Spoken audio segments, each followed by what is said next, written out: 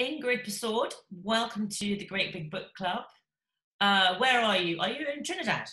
No, I'm not. Uh, thank you for having me. I'm in Wandsworth, Colwyn. Oh, slightly less glamorous.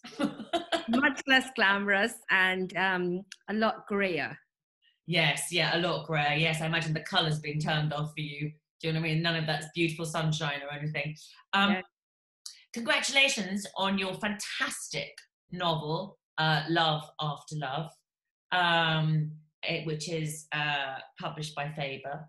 Um, I would love you to give us a little snippet of what it's like. So if you could do a read some some of it for us, just so we can see taste have a taster of what it's like. Sure. So um, the novel is set in Trinidad. It follows the lives of three people: um, Betty, a young widow, her son Solo, and their lodger, Mr. Chetan. And um, everything goes well until a terrible secret is revealed and their lives are upended. And the story is really about how they um, deal with that and uh, find themselves um, together as a family again and, uh, and how they learn about themselves. So I'm going to read um, two sections of the book, two little extracts. The first extract is um, from the first chapter of the book, and it deals with um, an interaction between um, Betty and her husband, uh, Sunil. And the second extract I'm going to read is uh, from the day Mr. Chetan moves in with the family. In two twos, I dished out the stew chicken, vegetable rice, and green salad.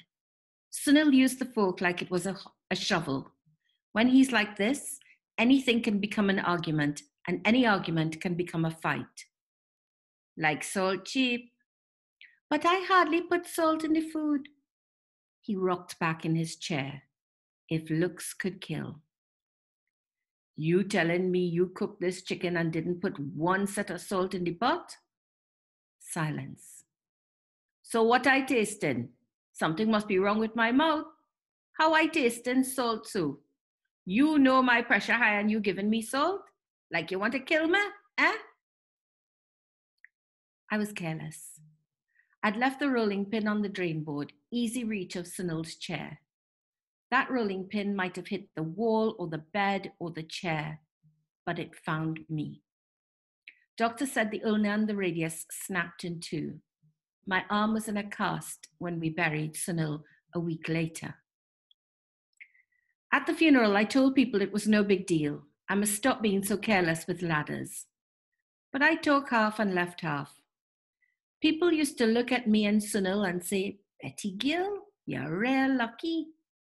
In my head, I wanted to ask if they were making joke. Lucky? That man only gave love you could feel. He cuff you down, honeymoon. He give you a black eye, true love in your tail. He break your hand, a love letter. He put you in hospital for a week, love will stay the course. He take a knife and stab your leg, until death do us part. The second reading is um, told in Mr. Chetan's voice, and it's the day he moves in and he's interacting with a young solo. Miss Betty declared she was leaving the gentleman to sort out everything and going to take her five minutes. Solo put himself in charge of settling me into the house. I was trying to unpack, but the boy kept calling me. Could he show me his room? Two minutes later, he wanted to, to explain how to use the TV. I had barely packed a drawer when he demanded I inspect the kitchen. What to do? He was only being friendly. Solo showed me everything, down to turning on the water heater if there wasn't enough hot water in the pipe. He was a completely different child from the morning they had stopped to give me a drop. A right little chatterbox. Mr. Chetan, is that the last box you're bringing up? Yes, you stay. There's nothing else to bring. Ouch, oh geez and peas, that hurt. I had stumped my so and so toe on the sharp edge of the concrete step.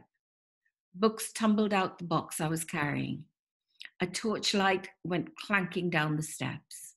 Solo rushed to help. You all right, Mr. Chetan? You all right? My toe, damn. That nail going to turn blue.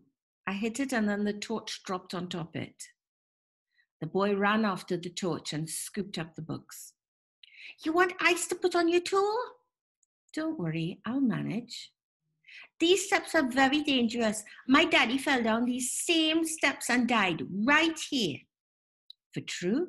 Right here? I don't remember anything because I was small, but I know he fell down. I'm sorry. Sometimes he used to drink, get drunk, and fall down. You mustn't say that about your father. But mommy told me that's what happened. I hoped Miss Betty wasn't listening. Her window was open, so unless she was sleeping hard, she must have heard. Children these days. I'm sure your father was a good man. Just please be very, very, very careful on the steps, okay? Especially if you come home drunk. You're not going to see me drunk. I take my Carib or a stag now and then, but I'm not a drinker. And Solo, you must be careful on the step too.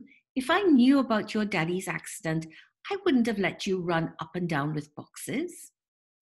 I'm accustomed to the steps. Nothing will happen to me. He bent down and picked up a large plastic bag. A boy in my class said he'd a Steve Curry bear from the fridge and drink it in the backyard. I hope you never do that. Mummy said that's the one thing she will give me licks for. I could do anything but that. It took the both of us till evening to put everything in place. Of course, I could have done it all much faster, but Solo refused to leave my side. I didn't mind, and although the boy's blabbering non-stop, half the time he's muttering to himself. At dinner, Miss Betty acted like she hadn't heard what Solo said about his father. Still, it bothered me.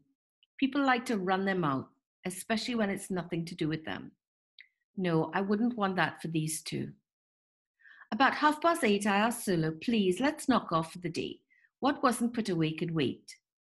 Solo, you can help me again tomorrow, but not too early. It's Sunday tomorrow. Okay, I won't come in your room and wake you up then. Before you go, come let me whisper something in your ear.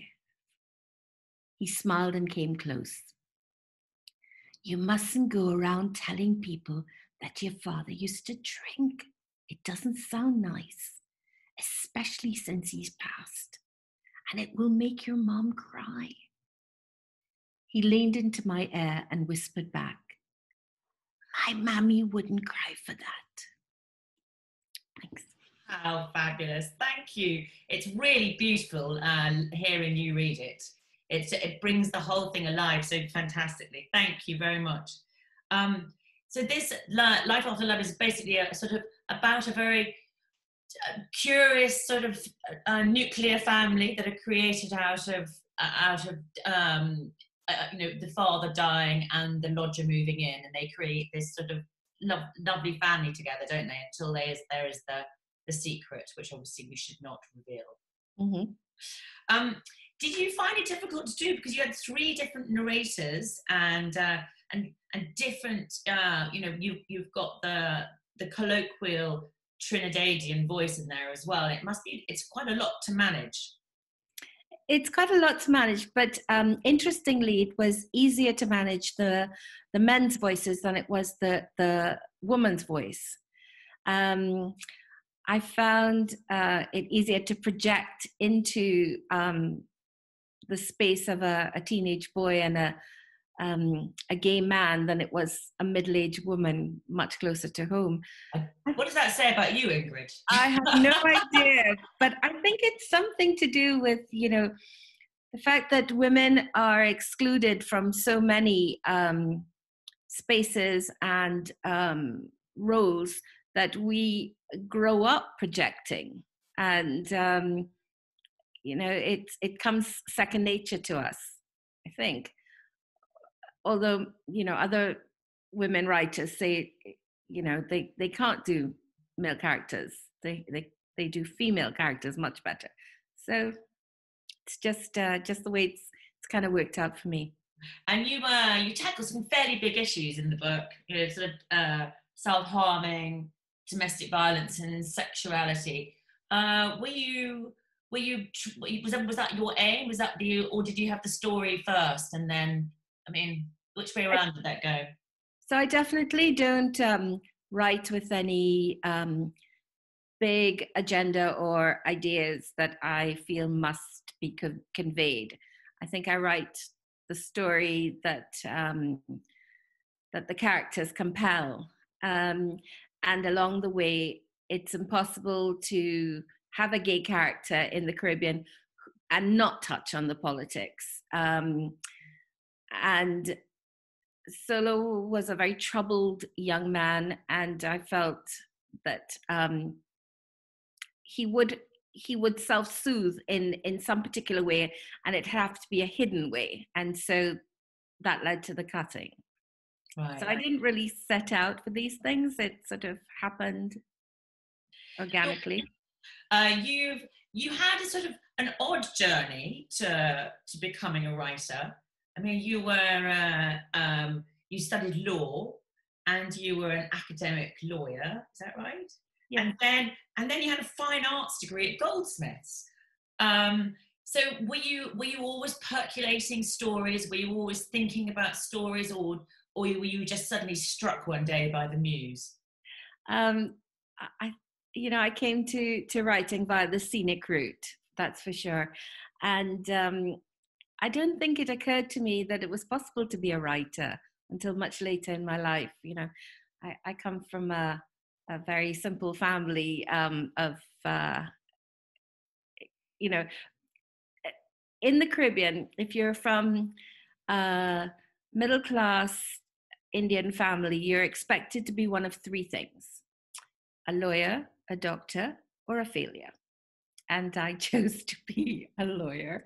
Um, and then in, in my 30s, I went back to school, um, really kind of looking for some way of, of harnessing my creativity that I felt wasn't being used. And so I did fine art and I was using a lot of text. So I guess text has been running through my, my career. But um, that I should end up a writer finally is is you know a great delight and a joy. Well you're clearly brilliant because you won the bbc short story award. I mean what did you what how did you what possessed you to enter that? Was it just like uh, i'm going to really go for this or i mean so um, the story had been, had won um, the Commonwealth Short Story Prize um, before, and why did um you enter that as well? I mean, Ah, okay. So that was um, to give myself some discipline. So I, I thought that um, I could write a short story if I had like a deadline and an objective. So that's why I entered that. And I didn't think it would go as far as it did. And um, the BBC Short Story Prize, that's a bit of a whim. Um, so no, these are these weren't um, strategic decisions that paid off. This is um, a bit of serendipity, I think. Clearly. And so, did you did you when you was like was Love After Love commissioned, or did you have to have a were you did you sell it on a sample? Could you tell me a bit of the story behind that? So um, after the BBC Short Story Prize, when I um, I acquired a fantastic agent, Zoe Waldie from RCW, and um, I showed her 20,000 words of Love After Love. And she said, This is fantastic. Um, you know, when can I see the rest? And I said, This is in October. Um, and I said, Oh, you can have it by the end of the year. And I went home and just sat down and didn't get up except to eat or go to the bathroom or occasionally sleep. And I wrote the rest of the book. And so um, I didn't know at that time that when writers say you'll get a book, you know, this the end of the year you have to usually specify which year i was still you know working in in in another mode so so I, I, felt I had to give her the book. So I gave her the book at the 31st of December, you know, at 4 p.m. I'd, I'd hit my deadline.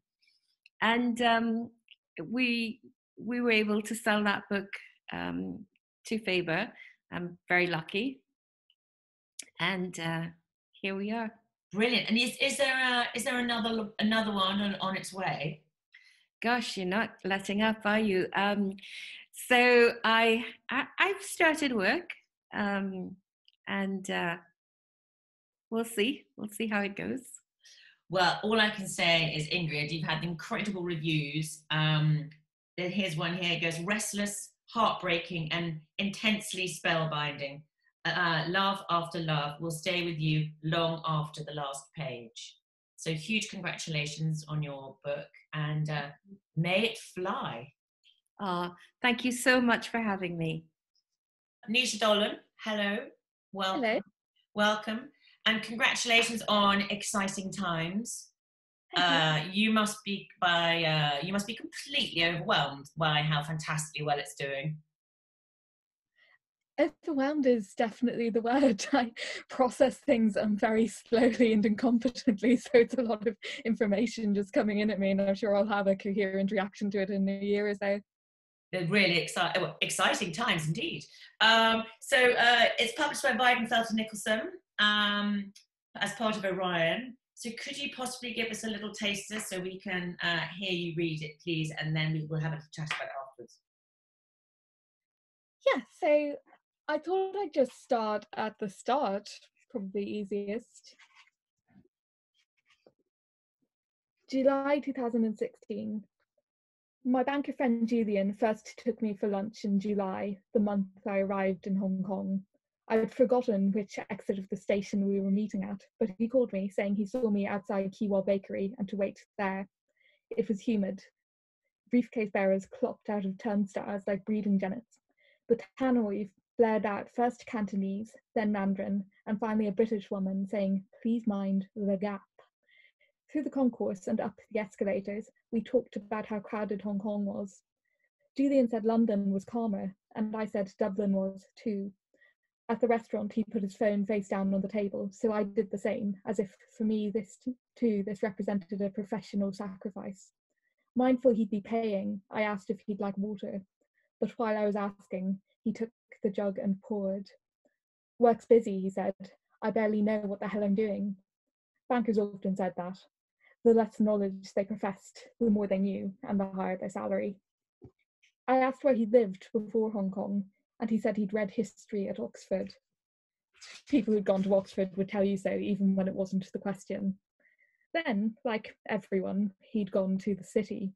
Which city? I said, Julian assessed whether women made jokes, decided we did, and laughed. Said I didn't know where I'd end up. He asked how old I was. I said I'd just turned 22, and he told me I was a baby and I'd figure it out. We ate our salads, and he asked if I'd dated in Hong Kong yet. I said not really, feeling yet did contradictory things as an adverb, and there were more judicious choices he could have made. In Ireland, I said, you didn't date, you hooked up, and after a while you came to an understanding. Julian said, So you're saying it's like London? I don't know, I said. I've never been. You've never been to London? No. Ever? Never, I said, pausing long enough to satisfy him that I'd tried to change this fact about my personal history upon his second query and was very sorry I'd failed. Ava, he said, that's incredible. Why? It's such a short flight from Dublin. I was disappointed in me too. He'd never been to Ireland, but it would have been redundant to tell him it was also a short flight that way. We discussed headlines. He'd read in the FT that the offshore renminbi was down against the dollar. The one piece of news I could offer was that a tropical storm was coming. Yes, he said, Mirinae and a typhoon the week after. We agreed it was an exciting time to be alive. Both storms came. Unrelatedly, we kept getting lunch. I'm glad we're friends, he'd say, and far be it from me to correct a Balliol man. I felt spending time with him would make me smarter, would at least prepare me to talk about currencies and indices with the serious people I would encounter in the course of adult life. We got on well. I enjoyed his money, and he enjoyed how easily impressed I was by it. Fantastic. Thank you so much. That's, I mean, beautiful, beautiful, brilliant book.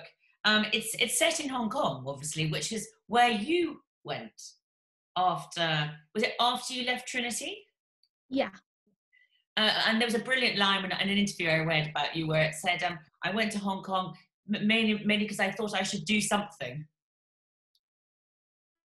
Yeah, I feel like when I'm asked about my reasons for doing things, because I'm a storyteller, aren't like aren't we all? So I tend to come up with reasons and then justify them extensively. But honestly, I put very little thought into my personal decisions, and so I, I, like you can find loads of interviews where I give different contradictory reasons for why I did various things because it's just what I felt on the spot. But no, it was a fairly impulsive but rewarding decision, I guess there was clearly the creative spark that you needed to uh, to to get exciting times going. Could you tell us a bit about the, the three different characters in it, Ava, Julian, and and Edith? Yeah, so our narrator Ava is a young Irish woman who's cognitively very busy, but regarding her choices and how she exerts herself in the world, um, considerably more of a bystander. She comes to Hong Kong, finds herself thrown together in relationships with these two different people and much of the novel is her attempt to navigate different facets of her personality this desire for on the one hand self-protective irony and detachment which then precludes her from also feeling the happy end of the emotional spectrum having um completely blanked out on the depths of despair that one can have. And then on the other hand the prospect of opening oneself up to that range of emotions and then the two different relationships bring out either end of that. So the first one being with julian who caters as a, a sort of wry curt individual to that side of her that fundamentally doesn't want to feel things. And then edith uh hong konger who's a more earnest, not sentimental, but joyous person. It's almost like she's sort of dipping her toe into the emotional pool as to work work out whether she wants to dive straight in or uh, or stand on the on the side still. So I mean that's her dichotomy, isn't it, between uh, between Julian and Edith? Yeah, there's an internet meme that I saw after I wrote the book that I think sums it up very well. Um, of weighing up between feeling loved and the mortifying ordeal of being known. And I think that's basically the novel. Are you willing to let people see you, including in ways that make you feel vulnerable, for the intimacy that that provides? And you clearly like playing around with language. I mean, that that is very, very evident in. Uh, in the novel, did you uh, did, so you, did you study English at, at Trinity? Yeah and before that i had quite an early interest in language that was sparked probably initially by studying irish in school also by encountering quite a bit of the bible in school and wrapping my head around these old weird words and then later french spanish and uh, just a, a variety of different levels of exposure to grammatical concepts and all the rest of it. Um, so I think that all fed into an interest in language, yeah. But you also, but you also studied um, uh, Victorian literature, did a master's at Oxford. I mean, what was that like? That must have been joyful and fantastic. I'm slightly envious of it. Yeah, um, I think I, like it was definitely great getting to study in depth all these books that we'd only really scratched the surface of before and going down some critical rabbit holes my favorite being um, a book i can't remember the title i think it's something like dickens and the interrupted quotation dedicated entirely to dickens's habit of interrupting um, quotations of his characters with a lot of narrative prose in between. So like x said y comma long interlude from Dickens and, th- and then continuing and it's a whole book around that. So if you're the kind of person who likes to take a small thing and understand it very well it's a good place for that. But it was also just a fascinating study of how different countries interact with literature especially because so much of the Irish study literature is shaped around how England has navigated the Anglophone tradition but there were big differences at the same time. Like English people don't read a lot of plays. They really don't. like, there were such huge gaps in any kind of dramatical knowledge for the 19th century. Like, so that kind of thing. Yeah, so it's really interesting. And uh, and you came you came out very quickly out of the blocks in your in your in the term in, in writing terms. Did you um, did you have the idea for exciting times? Did you what did you do? Did you just have a very did you sell it on a partial? Because I know there was a huge bidding war for it. What what actually happened? I wrote the book pretty much in isolation, and then I showed it to my agent, and then we did a few edits together, and then she sent it out, and we were really lucky in how people responded to it. But most of the process was quite solitary. Yeah. And uh, did you did it was it a had it been in your mind while you were in Hong Kong had been percolating for that period, or uh, did you write it while you were in Hong Kong? I wrote the first draft while I was there, yeah, and it wasn't a hugely premeditated experience. I think possibly that comes through in my writing style, maybe it doesn't, but I'm quite fragmented in how I go about it. I just pursue whatever interests me, or if nothing interests me at all, then I just make something up until I have enough words. I think you remember your headspace when you wrote things that you were really happy while writing, and then you tend to think of it as I need inspiration, but you actually don't at all. Like if I look properly at the book, I can equally point to bits where it was really boring and hard to even get 10 words out, but they read exactly the same to people reading the novel, for better or worse. It's weird that, isn't it? You you you you'd think it would read like, like some awful constipation, but in fact, it reads exactly the same way as, as the rest of it. Um, and how are you coping with all the Sally Rooney comparisons? I think you just have to let people respond to a text on their own terms, and I wouldn't want to tell anyone what those terms should be. There, there have been other comparisons. I've heard a lot to Ottessa Moshfegh, and I think there's certainly a shared modern sensibility, but maybe my character is a bit more politically earnest and emotionally earnest to an extent. Um, and I wrote a column on my love of Sayaka Murata's novel Convenience Store Woman, and off the back of that, a lot of people said they hadn't thought of that parallel until I wrote that column, but then suddenly they were seeing Convenience Store Woman everywhere in my novel. And I think that's actually quite apt. I think we both have heroines who do a degree of analysis of the people around them that most people don't find necessary in order to navigate the world. But then having done that analysis, a lot of it is actually quite familiar to us. It's just um, maybe the need for it isn't there if that stuff comes more automatically to you. And are you are you doing another one now, or are you just sort of exhaling a bit, relaxing? Oh no no no! I don't relax. Um, so I have a second one written, but it's about two women who go mad, and I don't feel like working on it. So at the moment, I've shelved that, and I'm on a third one, but I've no idea which of them will end up as the third book, as the second book rather. I might never feel like returning to the second one. We'll just see, I guess. Well, well, listen. Honestly, I the uh, exciting times is it, it, has had incredible reviews. I'm just going to read you this little one here. It goes fiercely intelligent, brutally funny. I've written with such such heart. Exciting times announces an impressive new voice in literature. So Naoise, congratulations, and uh, it's out now with, uh, from Weidenfeld Nicolson.